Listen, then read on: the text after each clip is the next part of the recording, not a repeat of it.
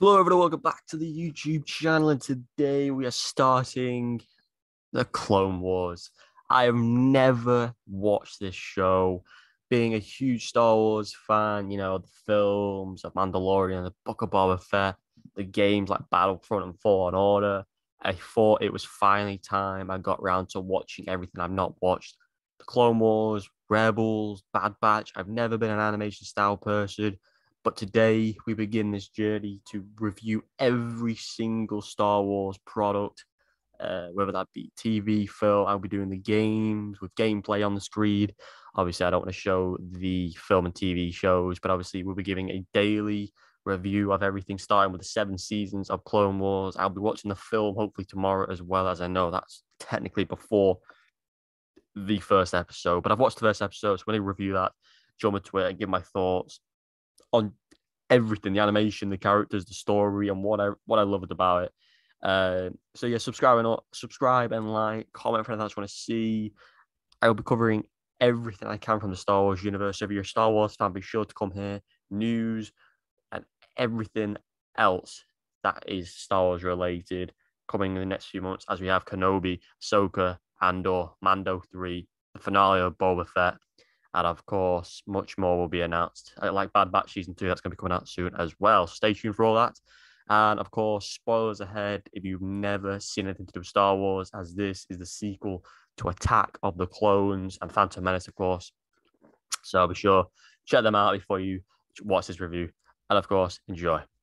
So, Star Wars The Clone Wars, episode one, the first ever episode that begins my journey into this 22 episode season one, 30 minute episodes roughly, and they're just so good.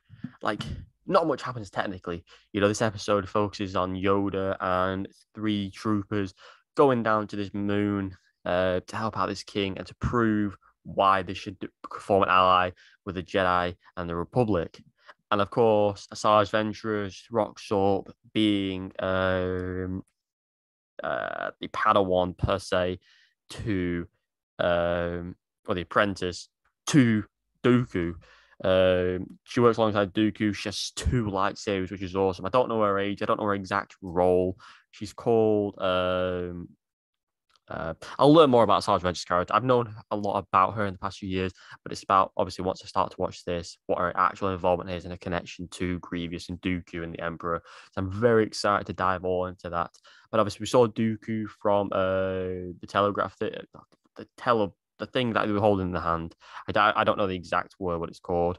Um, but yeah, he wasn't really in the episode. So I, mean, I think he's one of the main villains of the first couple of seasons.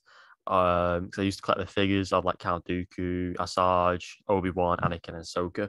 But yeah, we only got we got Yoda kick crap out of battle droids, super battle droids, droidekas, um, huge tanks they have. It was great to see him working with the troopers and how good a relationship they have. Um, Yoda proper putting Asajj Ventress in his place, how he just forced the, the lightsabers offer. Love that scene. I love the cartoon style.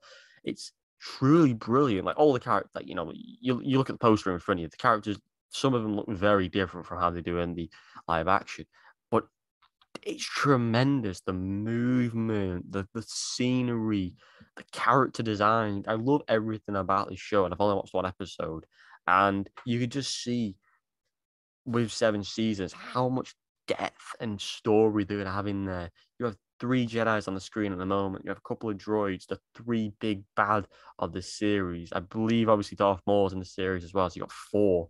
Uh, but yeah, a fantastically well written episode. Dave Filoni, you know, obviously involved with the current shows of Boba Fett and Mandalorian.